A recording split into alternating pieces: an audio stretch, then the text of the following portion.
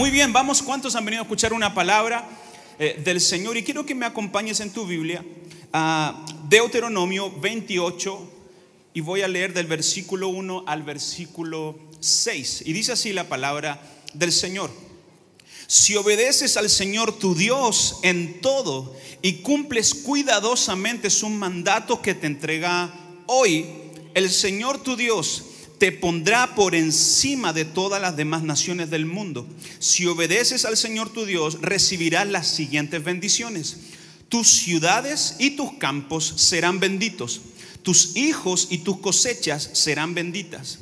Las crías de tus rebaños y manadas serán benditas. Yo pondría entre paréntesis ahí tus mascotas serán benditas.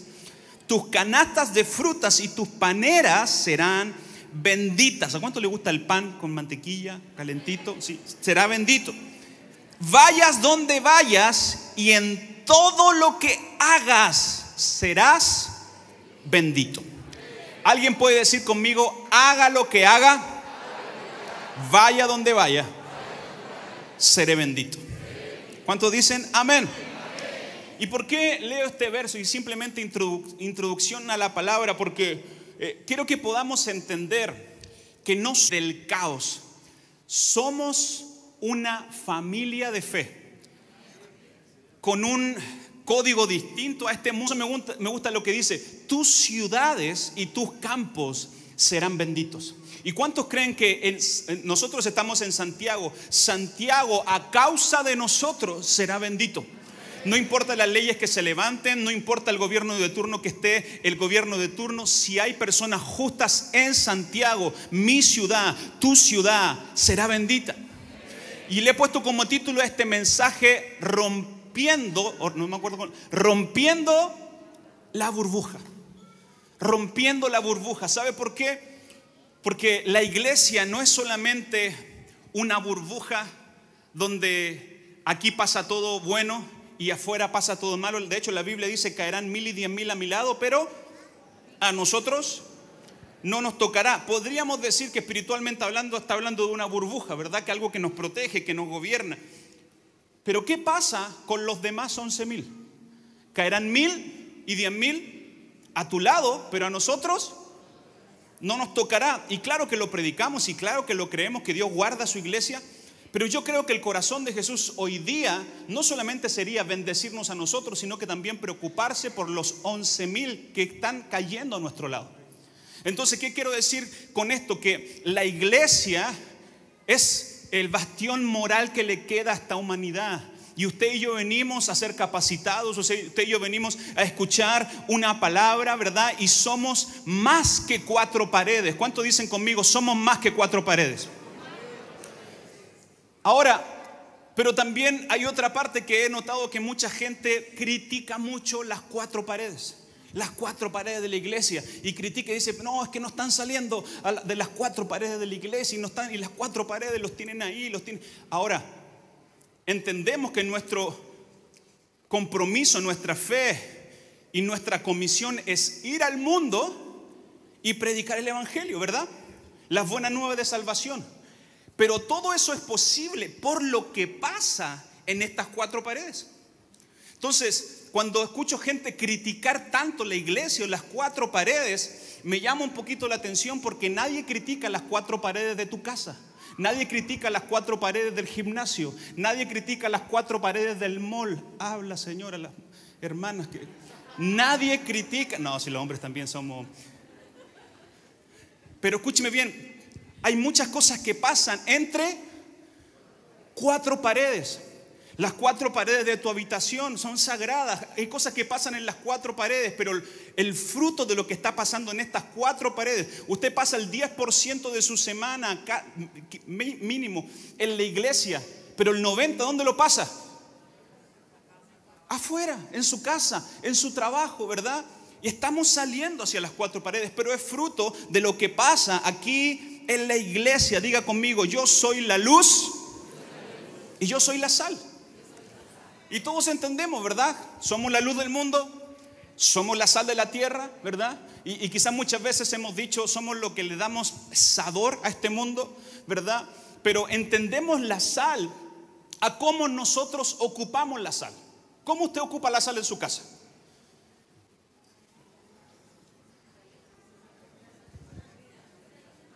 Como un aliño, ¿sí o no? ¿A cuánto le gusta la comida sin sal? ¿Hay, ¿Hay, alguna que le gusta? ¿Dos? Pero normalmente la comida sin sal no es muy buena, ¿sí o no? Pero ¿a alguien se le ha pasado de sal la comida? ¿Qué prefieres? ¿Algo sin sal o algo muy salado? Sin sal, ¿verdad? Yo algo sin sal me lo puedo comer, pero algo que está salado ni siquiera me lo puedo comer. Creo que con nuestras formas evangélicas y cristianas le estamos poniendo más sal de lo que le debemos poner al mundo. Y estamos creando en la gente un sabor no muy bueno. Pero en el contexto bíblico, la sal no era un aliño. La sal era el sistema de refrigeración. La sal era el sistema de preservar los alimentos. Las, en ese tiempo no habían refrigeradores, no habían cámaras. Entonces, la sal era lo que se ocupaba eh, y era lo que se metía, ¿verdad? Si alguien tenía un pedazo eh, de carne, ¿verdad? Lo llenaban de sal, lo embetunaban de sal y eso hacía que no se pudriera y que no se pusiera malo y podría durar en el tiempo. Cuando la Biblia dice que somos la luz del mundo y la sal de la tierra, no somos un condimento más para el mundo, somos lo esencial para que este mundo sea preservado por la presencia del Señor. En otras palabras, tu vida y mi vida pueden ser de utilidad para preservar cosas que podrían echarse a perder. Por eso Dios te está abriendo puertas. Por eso Dios te está llevando a lugares, no para que seas un condimento más, sino para que seas lo que preserva ese lugar. Somos la luz del mundo y somos la sal de la tierra. Y quiero que podamos ver un poquito acerca de cuando el pueblo de Israel fue exiliado a Babilonia por 70 años. ¿Cómo fueron luz y sal en ese tiempo?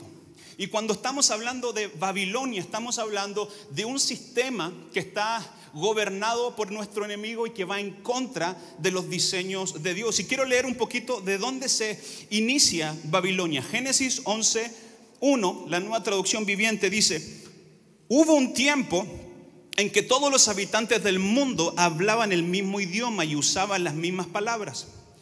Al emigrar hacia el oriente encontraron una llanura en la tierra de Babilonia y se establecieron allí.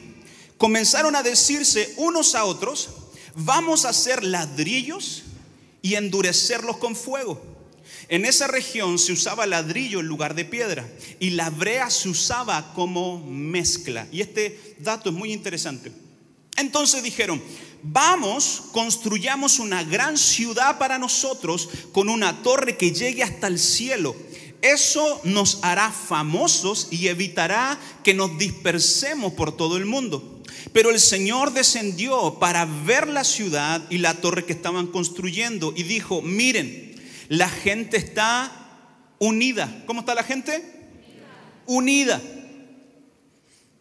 y todos hablan el mismo idioma. Después de esto, nada de lo que se propongan hacer les será imposible.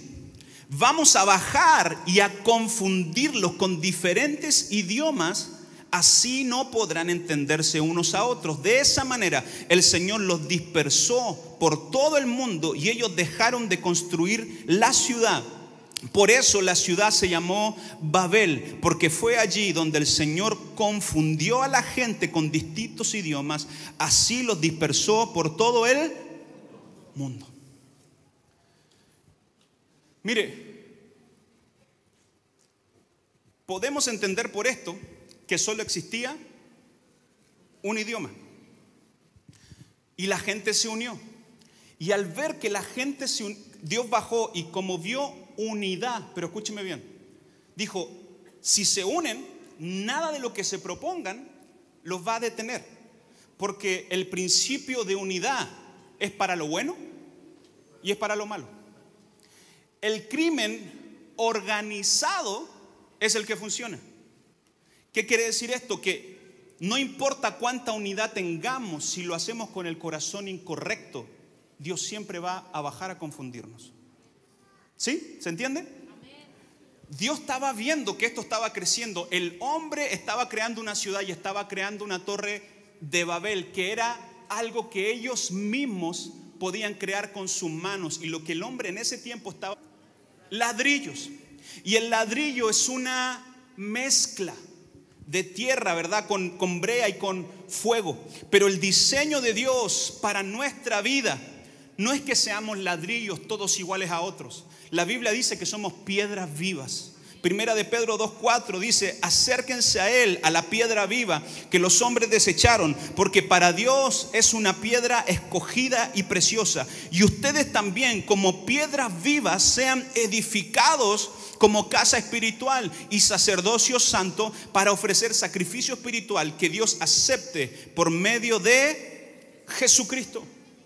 Los ladrillos son todos iguales, las piedras no son todas iguales, pero unidas cada uno con su función, podemos crear un templo espiritual donde Dios venga a habitar. Este lugar es un edificio. ¿Qué es lo que lo hace casa de Dios y puerta del cielo? Es que usted está sentado aquí. Dios no habita en templos hechos por las manos del hombre, Dios habita en el corazón.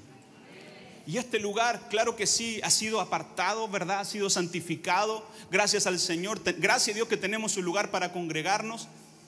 Pero usted y yo somos el templo del Señor. Somos piedras vivas. ¿Cuántos dicen amén? Y lo que Babel hizo, lo que Babilonia hace es tratar de mezclar el cristianismo con el humanismo. Pero la Biblia es tan clara en Romanos 12 cuando dice, no se amolden al mundo actual, sino sean transformados mediante la renovación de su mente. Así podrán comprobar cuál es la voluntad de Dios, buena, agradable y perfecta. Dios está enviando, si usted lee toda la historia y sería súper interesante que usted eh, se tomara un tiempo y leyera eh, Jeremías, ¿verdad?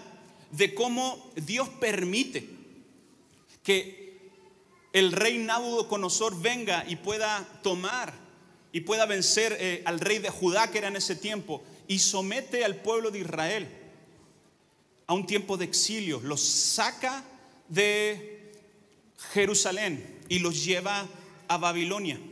Y mire cómo comienza a hablarle Jeremías al pueblo. Jeremías 15, 19 dice, entonces responde el Señor, si regresas a mí, te restauraré para que puedas continuar sirviéndome. Si hablas palabras beneficiosas en vez de palabras despreciables, serás mi vocero.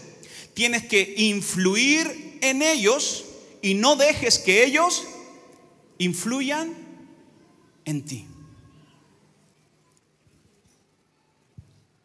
Usted y yo, como se lo acabo de decir, no vivimos en una burbuja evangélica que todo lo que aquí está bien y todo lo que está allá es malo. ¿Cuántos saben que todo lo que ha sido creado ha sido creado por la mano del Señor? Y lo que el diablo hace es corromper la obra que Dios creó, el diseño original que Dios creó para cada uno de nosotros. Y hay muchos ejemplos que podríamos tomar de cómo el pueblo de Israel pudo vivir y ser fiel en medio de un sistema corrupto como el de Babilonia, pero simplemente me quiero eh, enfocar en dos. Y el primero es en la vida de Daniel. Daniel era un joven, ¿verdad? La Biblia dice que cuando eh, el rey tomó la ciudad, tomó a algunos de los jóvenes judíos, comenzó a enseñarles las costumbres, comenzó a capacitarlos y de hecho dice que a Daniel y a sus amigos le pusieron un nombre eh, de la cultura de Babilonia. Daniel tenía un nombre judío, ¿verdad? Que era Daniel, que significa Dios en mi juez, y también tenía un nombre eh, de la costumbre de Babilonia, que era Belsasar, que significa Baal en mi juez. ¿Qué quiero decir eh, con esto? Que Daniel tenía dos ciudadanías. Daniel se manejaba entre la tensión de ser un judío, pero también de crecer en la cultura babilónica. ¿Qué quiero decir con esto? Eh, la Reina Valera dice, no, no se dejen acostumbrar por las costumbres de este mundo, sino que transfórmense por él la renovación de vuestro entendimiento. Pero en ninguna parte de la Biblia dicen no practiquen la cultura. En ninguna parte de la Biblia dice aíslense. En ninguna parte de la Biblia dicen simplemente cuando salgan de la iglesia pongan anteojeras y no miren a nadie. En ninguna parte de la Biblia dice cuando alguien venga a hablarle, tápense el oído y hágale. No, sino que dicen involúcrense, sean parte de la cultura. Usted y yo, y yo hablo por mí, somos ciudadanos chilenos, ¿verdad? Tenemos un pasaporte chileno pero también somos ciudadanos del cielo, del reino de los cielos. Escúcheme, tenemos que practicar la cultura chilena, pero yo me rijo por los patrones del reino de los cielos. Filipenses 3:18 dice, pues ya les dije varias veces, Ahora se los repito de nuevo con lágrimas en mis ojos. Hay muchos cuya conducta remuestran que son verdaderos enemigos de la cruz de Cristo. Van camino a la destrucción. Su Dios es su propio apetito y se jactan de cosas vergonzosas y solo piensan en esta vida terrenal. En cambio, nosotros somos ciudadanos del cielo donde vive el Señor Jesucristo y esperamos con mucho anhelo que Él regrese como nuestro Salvador. ¿Cuántos anhelan que Él regrese como nuestro Salvador? Y podemos ver en la vida de Daniel cómo fue un hombre fiel en medio de una cultura corrupta. Cualquier semejanza es simple coincidencia con lo que hoy día estamos pasando. Muchos de ustedes viven en trabajos, eh, se caminan en atmósferas corruptas. ¿Por qué? Porque este mundo está caído, ¿verdad? Eh, la gente no entiende que la causa del pecado, ¿verdad? Es que este mundo, vivimos en un mundo caído, pero gloria al Señor que nosotros tenemos el entendimiento correcto que donde abunda el pecado siempre va a sobreabundar gracia del Señor. Y Babilonia era una sociedad pluralista, donde el rey Naudoconosor en ese tiempo comenzó a decretar y comenzó a decir, no me importa si tienen otros dioses, no me importa cuál sea su religión, pero cuando suene el instrumento, cuando yo dé la voz, todos tendrán que rendir culto a Baal. Todos tendrán que rendir culto a mi Dios. Muy pluralista el hombre, ¿verdad? Muy tolerante. No me importa que practiquen otras religiones, pero quiero que le rindan culto a Baal. Nabucodonosor sabía que el poder, en el ámbito espiritual, el poder solo se obtiene mediante la adoración. En otras palabras, lo que tú adoras es lo que le das poder en tu vida. Si tú adoras más tu trabajo que a Dios, tu trabajo es ser un deporte que a tu Dios, ese deporte es tu Dios. A quien yo adoro le estoy dando poder y autoridad en mi vida. ¿Se entiende lo que estoy diciendo? Y en ese momento comenzaron a decir, muy bien, el decreto está listo, pero Daniel y sus amigos, al principio del libro de Daniel, dijo, ellos propusieron en su corazón no contaminarse. ¿Y cuántos creen que esa tiene que ser nuestra actitud como iglesia? Estar en este mundo, rodearnos con personas que no practican nuestra fe, pero tenemos que tomar una decisión. Yo no me voy a contaminar. Yo voy a influenciarlos a ellos y ellos no me van a influenciar a mí. En otras palabras, Dios nos da permiso para involucrarnos. Si somos la sal, tenemos que meternos donde están los problemas. Tenemos cómo oirán si nadie les predica.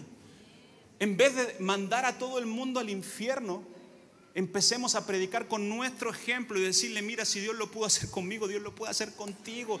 Dios me ha perdonado tantas, ¿por qué no lo va a poder hacer contigo? La Biblia dice que cuando Dios bajó, dice que Él los confundió. Y en muchas partes de la Biblia, cuando Dios le habla a sus discípulos, le dice, miren, están confundidos como ovejas sin pastor.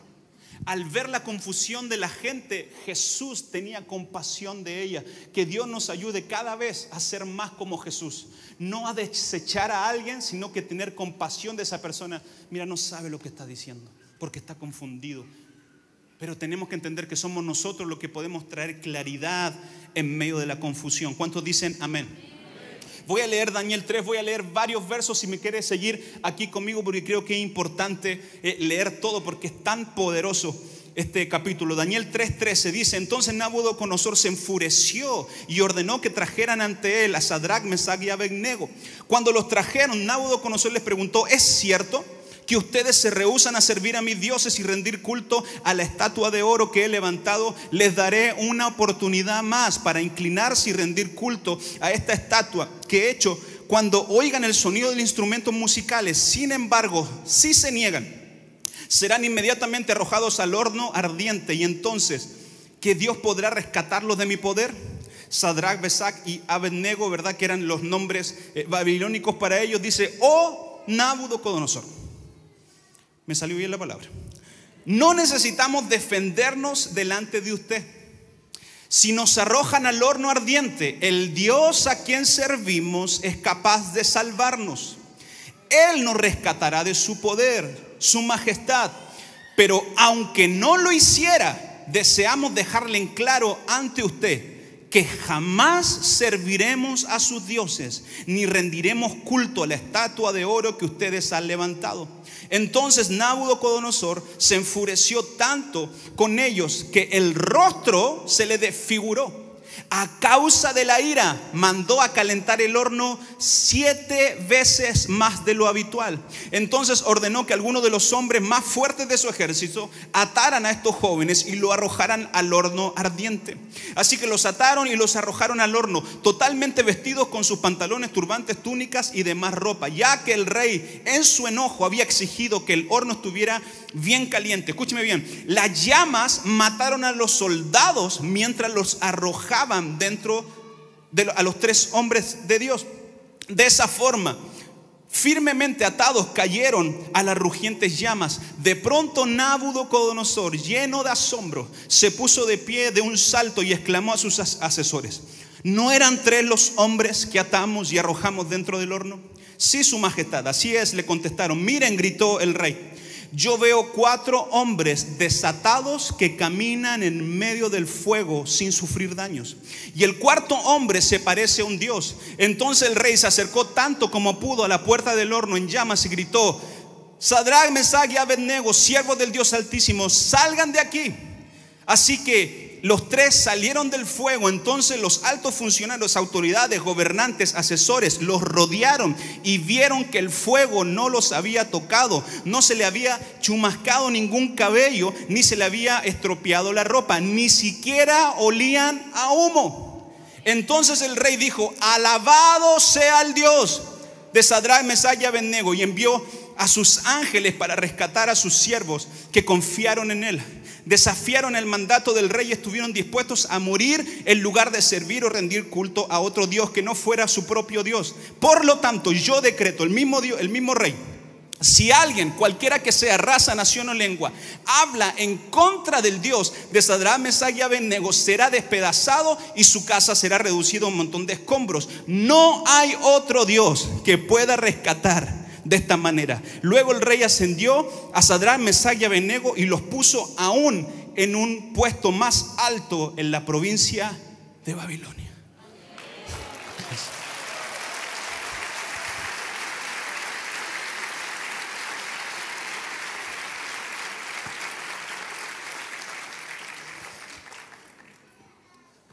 Me cansé.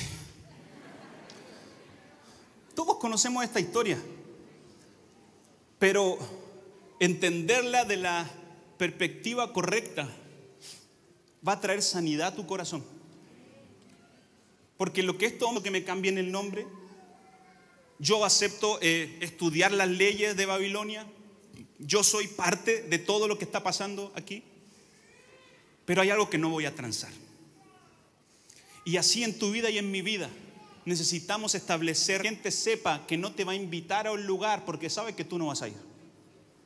Necesitamos reunirnos con personas que podemos considerarlas, que podemos amarlas, pero ellos saben. ¿Sabe lo que estaba diciendo Daniel y sus amigos? Y primero me encanta que la historia podría haber sido solo de Daniel, Pero dice Daniel y sus amigos. ¿Sabe por qué? Porque Dios siempre te va a rodear de amigos que te ayuden a cumplir el propósito de Dios en momentos difíciles. Me encanta. ¿Y sabe lo que dijo Daniel? Que eso me emociona tanto. Dice, quiero dejarte algo en claro, rey. Te respeto mucho, pero aunque me prendas el horno 14 veces más, mi Dios me puede salvar. Ahora, si Él decide no salvarme, aún así, nunca me voy a arrodillar ante tu Dios. ¿Estamos dispuestos a no transar nuestros valores? Y estamos dispuestos a decirle al Señor, Señor, que se haga tu voluntad, no mi voluntad.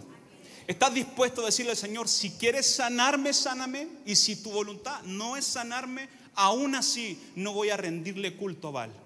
Aún así no voy a eh, cruzar mis principios. Lo que le estoy diciendo, iglesia, que Dios nos está llamando a entrar en una nueva temporada, nueva e inimaginable, donde siempre se van a poner a prueba tus principios donde siempre se van a poner a prueba mis principios. ¿Sabe lo que más me maravilla de esto? No es solamente que estaba Jesús con ellos en medio del fuego, sino que la Biblia dice que salieron, sus ropas estaban intactas y ni siquiera olían a humo. ¿Alguien ha hecho un asado con carbón aquí? Mire, yo ya no hago asado con carbón, no porque no me guste, sino o no, no porque no lo pueda hacer, sino porque mi pelo tenía que estar cuatro o cinco días lavándomelo para que se me saliera el olor a humo. Lo que hacen el asado con leña o con carbón, ¿sabe lo que le estoy diciendo, no es cierto? Ellos se metieron al fuego subidos siete veces y salieron sin olor a humo. Permítame, pero Dios no hace nada por coincidencia y Dios no pone nada en la Biblia que no quiera que aprendamos de eso. Mi pregunta es, ¿cómo vas a salir del horno? ¿Qué olor vamos a dar cuando Dios nos saque del horno? ¿Va a ser un olor a crítica? ¿Va a ser un olor a arrogancia? ¿Va a ser un olor a, a una herida no resuelta? ¿Sabe lo que significa que ellos salieron sin olor a humo? Un olor a victoria. Mi hermano, escúcheme. Me encantaría decirte que Dios te va a sacar de las llamas. Me encantaría decirte que Dios nos va a sacar del desierto. Pero la mayoría de las veces en mi Biblia leo que Dios está conmigo en medio de la llama. Dios está conmigo en medio del desierto. ¿Qué quiere decir con esto? Que si sigues siendo fiel en medio de la adversidad, habrá uno más entre las llamas. Habrá uno más que va a estar contigo, que va a estar guardándote, que no va a dejar que tu ropa se eche a perder, que no va a dejar que tus cabellos se chamusquen, que no va a dejar ni siquiera que espeles un olor extraño. Porque cuando Dios está con nosotros, caliente más el horno pónganlo más fuerte, porque Dios está conmigo. ¿Cuántos dicen amén?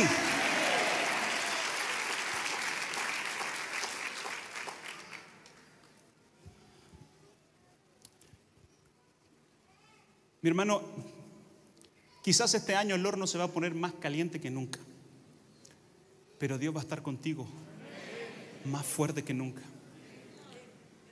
Quizás lo que pases Así como Daniel también lo tiraron a, los leones. Pero vamos a aprender a acariciar leones. Porque allá afuera te vas a topar con leones.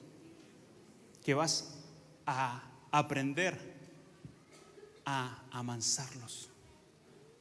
No somos nosotros. Es el Dios que está con nosotros en la llama. Es el mismo Dios que te va a ayudar a vivir en medio de leones sin que ellos coman. ¿Cuántos dicen amén?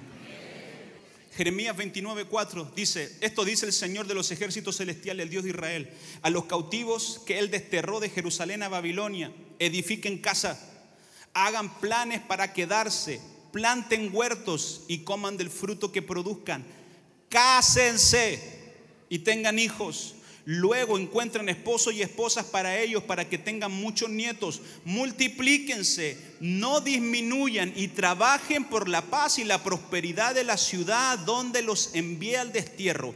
Pidan al Señor por la ciudad, porque del bienestar de la ciudad dependerá el bienestar de ustedes. ¿Qué está diciendo Dios aquí? Manténganse en la, en la burbuja. ¿Qué está diciendo el Señor aquí? No, no, no, no quiero tener contacto con nadie. No, el vecino, no, vecino no, yo soy cristiano, vecino no. Y cuando un vecino te saluda, yo no, no, no, no yo soy cristiano, no, no, no, no quiero, no quiero contigo, por favor. ¿Qué es lo que está diciendo Dios aquí? Establezcanse, produzcan la tierra, cásense, multiplíquense, porque del bienestar de esta ciudad depende nuestro bienestar. Mire, necesitamos dejar de hablar mal de la ciudad de donde Dios nos plantó. Y necesitamos comenzar a declarar vida sobre nuestra ciudad. Porque si Dios bendice esta ciudad, Dios va a bendecir tu vida.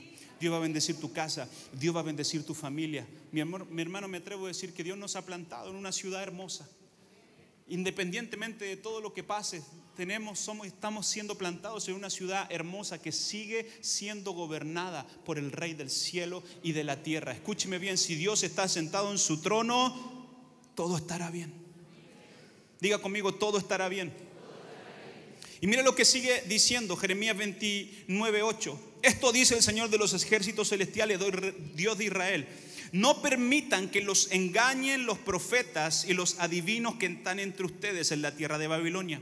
No presten atención a sus sueños porque les dicen mentiras en mi nombre. Yo no los envié. Dice el Señor Ustedes permanecerán en Babilonia durante 70 años, pero luego vendré y cumpliré todas las cosas buenas que les prometí y les llevaré de regreso a casa, pues yo sé los planes que tengo para ustedes, dice el Señor, planes para lo bueno y no para lo malo, para darles un futuro y una esperanza. En esos días, cuando oren, los escucharé. Si me buscan de todo corazón, podrán encontrarme. En ese tiempo se había levantado profetas que, estaban diciendo todo lo contrario, no se involucren, no hagan planes, no, no trabajen la tierra, ya pronto nos vamos a ir. Pero Jeremías escuchó eso dijo, no le hagan caso. En otras palabras, ¿sabes lo que estaba diciendo Jeremías? Tengan cuidado a quien están escuchando. Necesitamos tener cuidado qué voz estamos escuchando. ¿Estamos escuchando más la voz de la desgracia y la desesperanza o estamos escuchando la voz de Dios que siempre para tu vida y para mi vida será la misma? Yo sé los planes que tengo para contigo, planes para lo bueno y no para lo malo, planes para la bendición y no para destrucción. Mi hermano, mi hermana, el Evangelio son buenas noticias. De esto se trata, el Evangelio son buenas noticias. Si queremos malas noticias, prenda la tele. Si quieres malas noticias, escucha a tus compañeros de trabajo, pero si quieres buenas noticias, ven aquí, plántate, Dios te va a trabajar, Dios va a trabajar en tu carácter, Dios te va a prosperar y Dios te va a hacer crecer en abundancia. ¿Cuántos dicen amén? Pero necesitamos salir de la burbuja. Necesitamos ir y ser esa luz y ser la sal que el mundo necesita. Mi hermano, tu cuadra necesita un mensaje coherente. Tu cuadra necesita alguien, un mensaje de salvación. ¿Sabe el problema? Es que aquí sabemos que eres cristiano, pero en tu casa nadie sabe que eres cristiano. El problema es que salimos de este lugar y simplemente nos quedamos. ¿Para qué nos sirve de tanta palabra si no estamos poniendo por obra la palabra? Dios nos está capacitando martes, jueves, domingo en la radio para que la palabra corra y sea glorificada. Para que tenga un efecto, como nuestro pastor siempre dice, si usted no ve resultado en esta iglesia, cámbiese de iglesia, quizás está la iglesia equivocada, pero si Dios te ha plantado en este lugar y estás echando raíces fuertes, vas a ver resultados. Vas a ver resultados extraordinarios. ¿Y sabe cuándo yo comenzamos a ver resultados de la gente? Cuando la gente comienza a traer a sus compañeros de trabajo, a sus vecinos, a sus familiares. Y esto comienza a ir por todo el mundo y predicar el Evangelio de las buenas nuevas de salvación. La mejor forma de predicar no es haciendo un live, es que tus vecinos vean que tú eres un hombre íntegro. La mejor forma de predicar no es poniendo cosas en las redes sociales. La mejor forma de predicar es teniendo un matrimonio sano La mejor forma de predicar es teniendo nuestros hijos en orden. La mejor forma de predicar es que cuando la gente nos vea, ellos puedan ver coherencia de nuestro mensaje con nuestras acciones. Cosas poderosas suceden en las cuatro paredes, pero cuando salimos comienzan los milagros. Cuando salimos comienza Dios a crear y poner en nosotros el querer como el hacer. Daniel vivía en Babilonia, pero no vivía para Babilonia. Nosotros vivimos en este mundo, pero no vivimos para este mundo, vivimos para Dios. Escúcheme, necesitamos entender esto y quiero que se entienda lo que voy a decir. Si entendemos que debemos ejercer nuestro trabajo, estudiar, ser un buen ejemplo, ser un buen esposo, ser una buena esposa, de una perspectiva de exilio, vamos a aprender a amar la tierra en la que estamos, amar a mis amigos, amar a mi trabajo, pero tengo que tener en claro que en algún momento mi Salvador volverá y me va a regresar a la nueva Jerusalén. Pero mientras eso no pase, nuestra función en esta tierra es producir, es bendecir, es multiplicarnos, es ser un buen ejemplo para que más gente conozca el Evangelio de Salvación, para que más gente conozca esta verdad. Mi hermano, mi hermana, creo que Dios nos está moviendo esta mañana para salir de estas cuatro paredes que amamos y ser tú el mensaje. Me encanta que gente comparte el mensaje que predicamos, pero ¿qué te parece si tú comienzas a hacer el mensaje con tus acciones? Con tus palabras, cómo, cómo te desenvuelves con la gente. Mi hermano, la obra del Espíritu Santo en nuestra vida trae claridad. La obra del Espíritu Santo en nuestra vida no, no, solamente es algo emocional, no solamente sentimos su presencia y oramos. Y, y, sí, claro que son manifestaciones y las creemos y sabemos que son poderosas, pero la obra del Espíritu Santo en nosotros no es otra cosa que decir, ya no vivo yo, sino Cristo es el que vive en mí, que gobierna mi vida, que gobierna mi casa, que gobierna mi familia y comienzo a tomar acción y esa palabra comienza a ser revelada mi vida y no solamente revelada, yo comienzo a hacer el mensaje. Yo comienzo a hacer la palabra. Alguien puede levantar su voz conmigo y decir, yo seré el mensaje. Vamos, dígalo fuerte, yo seré el mensaje. ¿Cuántos dicen amén? Dale un aplauso fuerte al Señor.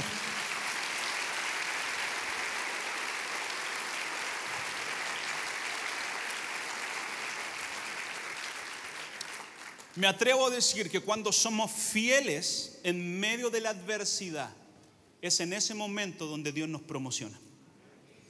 Si leemos con atención los versículos que leí, el rey termina diciendo, alabado sea el Dios de estos jóvenes, y dice que después los puso a los tres en lugares altos, en puestos altos. ¿Por qué? Porque vio en ellos integridad vio en ellos lealtad. Yo creo que él vio y dijo, si estos son capaces de esto con un Dios que no ven, ellos van a ser leales en el trabajo que les voy a dar. Mi hermano, Dios este año quiere hacer cosas nuevas, Dios quiere hacer cosas inimaginables, claro que sí. Pero también muchas veces Dios nos va a poner a prueba. Si estamos siendo firmes en nuestras convicciones, si estamos siendo firmes en nuestra fe. La Biblia dice, en los últimos tiempos, muchos negarán la fe, muchos flaquearán en su fe. Pero ¿cuánto le dan gracia a Dios que muchos no son todos? Va a haber un remanente que en medio del horno más caliente no va a doblar sus rodillas al sistema y se va a mantener fiel y firme ante el Señor. Dios lo va a hacer. Y es en ese momento donde podemos leer otra vez este versículo. Si obedeces al Señor tu Dios en todo y cumple cuidadosamente sus mandatos que te entrega hoy, el Señor tu Dios te pondrá por encima si obedeces al Señor tu Dios, recibirás las siguientes bendiciones. Tus ciudades y tus campos serán benditas. Tus hijos y tus cosechas serán benditas. Las crías de tus rebaños y tus manadas serán benditas. Tu canasta de fruta y tus panes serán benditos. Y vayas donde vayas, y todo lo que hagas. Yo quiero profetizar esto esta mañana sobre tu vida. Vayas donde vayas, hagas lo que hagas, serás bendito. La bendición de Dios estará sobre tu vida, la bendición de Dios estará en tu trabajo, la bendición de Dios estará en tu casa, la bendición de Dios estará en tus hijos. Hagas lo que hagas, vayas donde vayas, Dios te va a bendecir. Si lo cree, dar un aplauso fuerte al Señor, ponte de pie y dale gloria y honra a Cristo Jesús. Vamos, dáselo fuerte para el Señor. Él, Él lo hará. Solo Él lo hará. Yo no sé en qué etapa estás. Quizás estás ahí metido en el horno. Puedes decir, pastor, estoy hasta el horno yo hoy día. Quizás estás rodeándote los leones que están a punto de devorar. Quizás estás en la incertidumbre de involucrarte o no involucrarte, de tomar el trabajo o no tomar el trabajo. La palabra del Señor esta mañana es tan clara. Necesitamos romper la burbuja de las cuatro paredes y salir a este mundo y ser el mensaje. Y, y escúcheme bien, por eso en esta iglesia por lo menos no tenemos un ministerio de evangelismo, porque creemos que evangelismo le corresponde a todos. Tú eres un evangelista en tu trabajo, en tu casa, en tu colegio, en el Uber, en el mall, donde quiera que vayas. La gente está confundida. La gente está tan necesitada que lo único que necesita es que alguien los guíe a Jesús es que alguien le muestre un camino accesible a Jesús. No estamos para ponerles barrera a las personas para acercarse a Jesús. Estamos para abrirle camino a la gente. Y que lleguen a este lugar. Y aquí deja que Dios los sane, que Dios los libere, que Dios los restaure. Pero estamos tan enamorados de la forma evangélica de hacer las cosas. Muchas veces estamos más enamorados de la vida cristiana que del Cristo de la gloria. Y antes era así, había una forma de vestirse cristiana, había una forma de hablar cristiana. Pero estamos y vivimos en este mundo, en el mundo real. Y en el mundo real tenemos que predicar a un Cristo real. ¿Cómo lo vamos a hacer? No con nuestros buenos mensajes, sino con nuestras actitudes, con nuestra forma de cómo tratamos a la gente. ¿Y qué te parece si esta, si esta semana tratas de alguna forma de extender el mensaje de Jesús. Trata de alguna forma de hacer una buena acción. Trata de alguna forma hablarle a alguien del Señor. No de una forma eh, tradicional, no de una forma de, del juicio, sino que desde el lenguaje universal del amor de Dios. Si hablamos lenguas angelicales y no tenemos amor, nada podemos hacer si hacemos esto y aquello, pero no tenemos amor, ¿de qué nos sirve? Pero cuando el amor de Dios ha invadido nuestro corazón, queremos derramar ese amor sobre las demás personas. Por eso Dios te plantó en esta iglesia. Y voy a orar esta mañana.